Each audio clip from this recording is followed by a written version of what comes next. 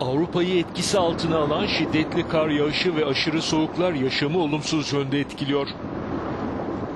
İskoçya'da 3000 metre yükseklikte çığ altında kalma tehlikesi yaşayan iki dağcıyı kurtarma ekipleri helikopterden attıkları çekme alatıyla son anda donmaktan kurtardı. İtalya'da aşırı kar ve çığ tehlikesi karşısında kayak merkezleri geçici süreyle hizmete kapatıldı. Kayak merkezi Serviana kasabasında aşırı kar yüzünden çoğu turist yaklaşık 5000 kişi yolların kapanması üzerine mahsur kaldı. Avusturya'nın batısındaki Alpler dağlarında da aşırı kar yağışının ardından ünlü kayak merkezleri yine çığ tehlikesine karşı hizmete kapatıldı.